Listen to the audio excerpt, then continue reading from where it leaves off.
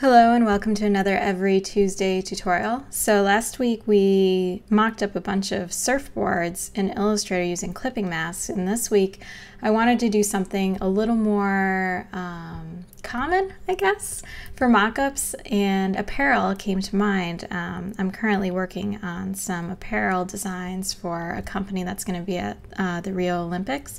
So I thought I would share a little bit of what my process has been with mocking up designs to send off to manufacturers to get quotes. So this is a pretty common thing for graphic designers and as you can see on my screen right now, this is what we're going to be creating in this tutorial and I will show you how to make the hand-drawn vector t-shirt mock-up and then apply graphics onto it and mask them in.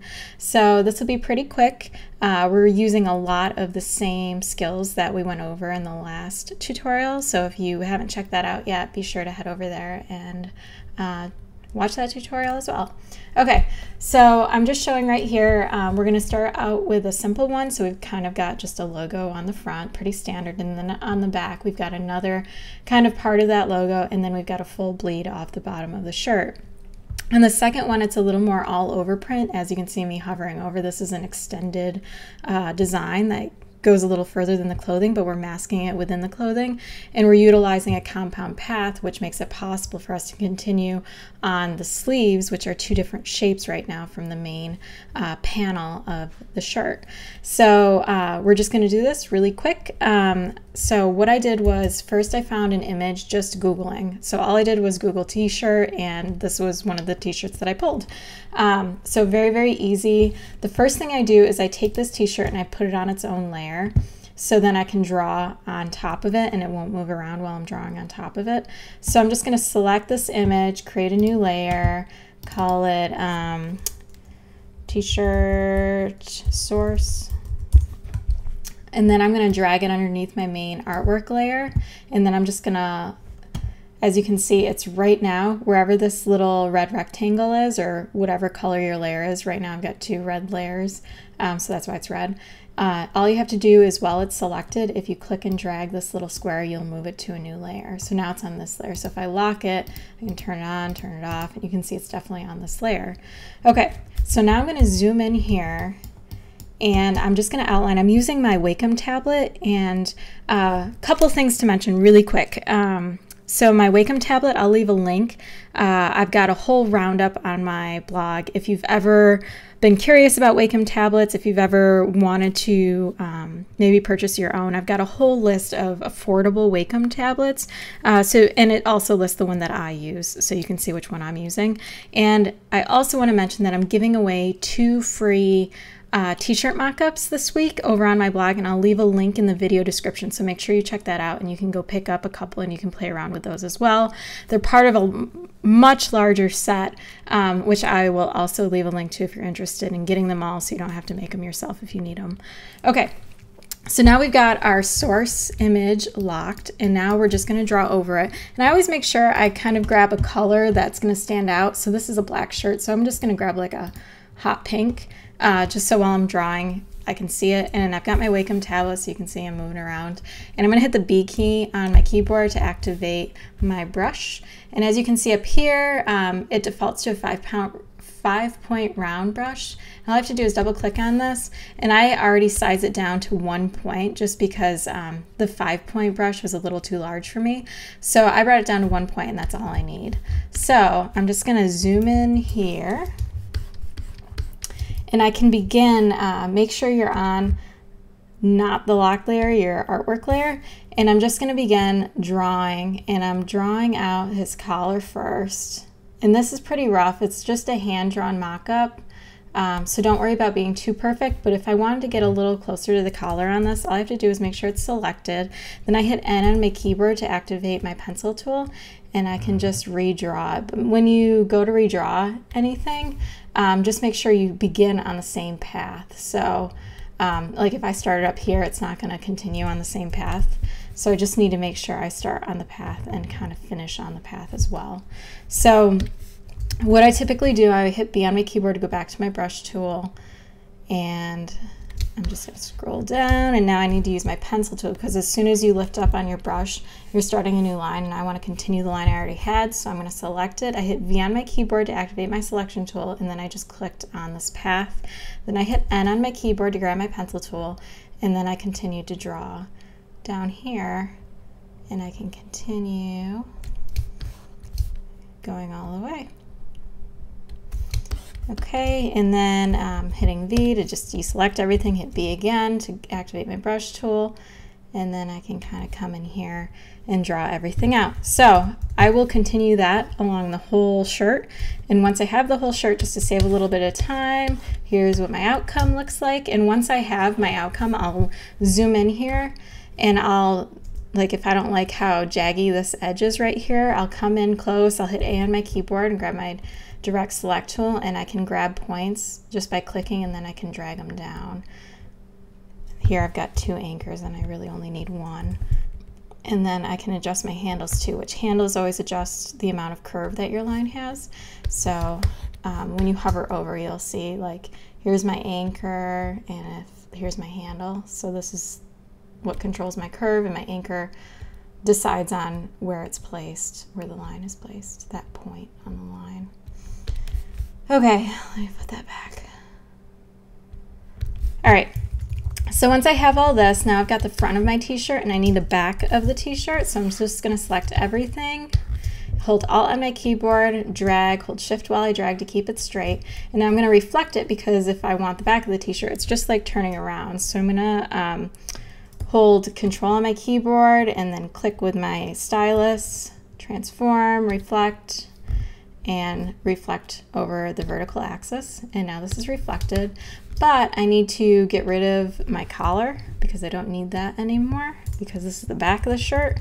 So the way I drew my lines previously, um, I've got a little bit of disconnect, but that's okay. I'm just gonna come in here, grab my direct select tool by hitting A on my keyboard, and then I can kind of adjust my handles and then I just need to draw in um, this top collar. So I'm to hit B on my keyboard and kind of draw in um, a top collar here. Get rid of that point.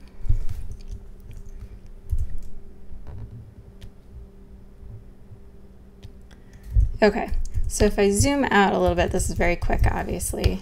Um, so you, as you can see, I've got this top kind of rib around uh, around the collar and I've got everything else that I need. So now everything is still a live stroke as you can see over here in my stroke palette. So now this is where I bring in some color. So I'm just going to drag these up here and as you can see I've got um, this logo over here that I'm working with. So the first thing I need to do is go object, expand appearance. And what this does is it creates shapes out of these lines. So now you can see they've got a fill instead of a stroke. And then I'm gonna come over here to my Pathfinder palette. And if you don't see Pathfinder, you can get to it by going Window, Pathfinder. And I'm just gonna merge all of these shapes together. So I'm gonna hit this Unite icon right here. Now I'm going to hit M on my keyboard and I'm going to drag a big rectangle around them. I'm going to send that to back, so I'm going to right click, arrange, send to back.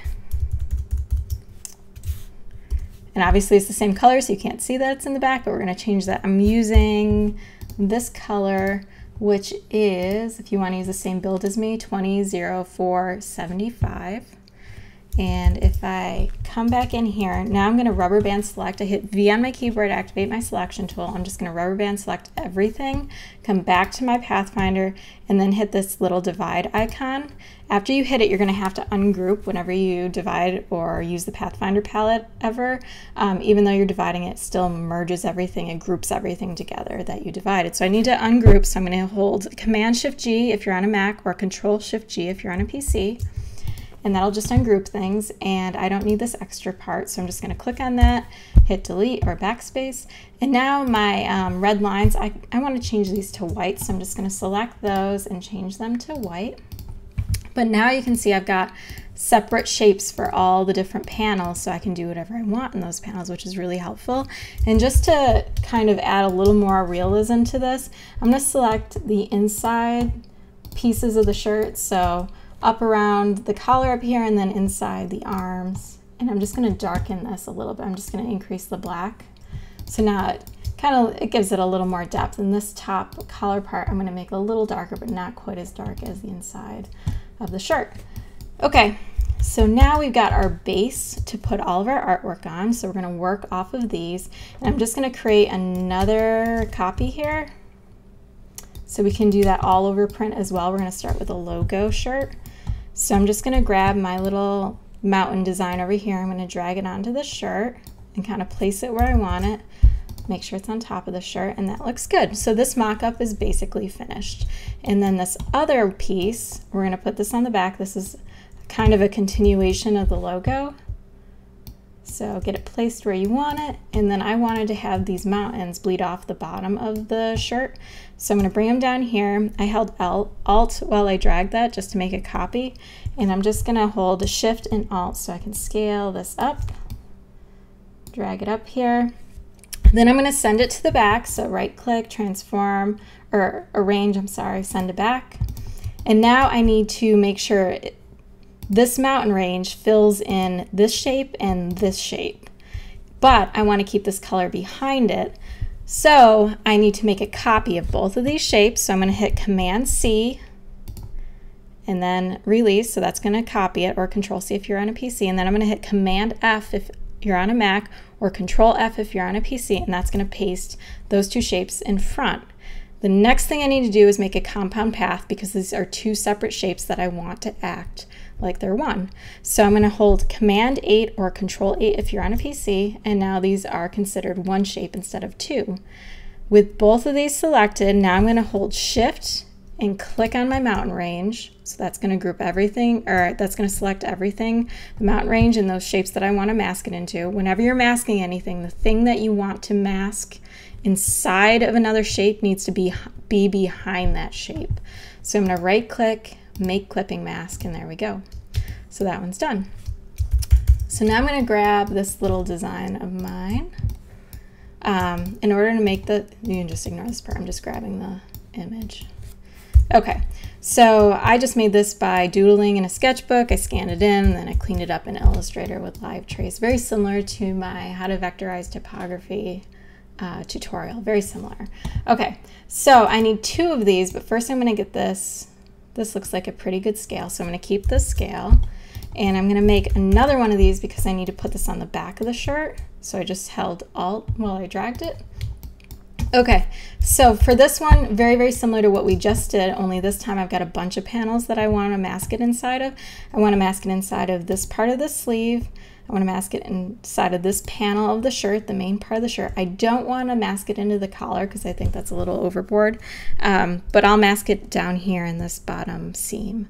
So I'm going to hold shift and click on that. So every time you hold shift and select um, an object or an element, uh, it stays selected with everything else. So it just adds on to the selection.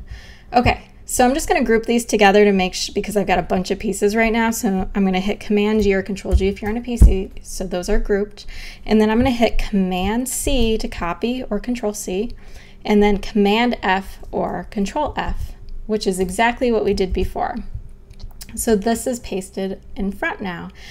But we still need to create a compound path out of this because we need these to act as one shape instead of three shapes because we need it to continue on. And if we don't make a compound path, this will only mask inside of one of these panels instead of all of these panels. So I'm going to hit Command 8 or Control 8 if you're on a PC. So that makes it a compound path. Then I'm going to hold Shift and select my design and then right click, make clipping mask. And there we go, it's that easy. So we're just gonna repeat the same process just as a reminder. Um, obviously this is the back, so we need to reflect this image. So transform, reflect, reflect over the vertical axis, hit okay, and then position it kind of where you need it. And that looks pretty good.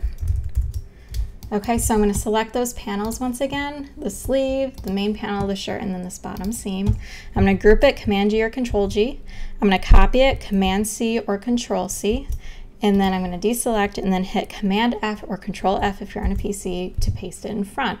Now I'm going to make my compound path. I'm going to hit Command 8 or Control 8 if you're on a PC, and then I'm going to hold Shift, select my design, right click, make clipping mask. And there we go. So that's how to do a quick hand-drawn vector t-shirt mock-up in Illustrator. Don't forget to head on over to my blog to pick up your two free t-shirts and you can see the whole set there as well. Uh, it's in the video description so just scroll down and you'll see it. And thanks so much for watching. If you enjoyed this tutorial, please subscribe. I release a new tutorial every single Tuesday. So I'll see you next week.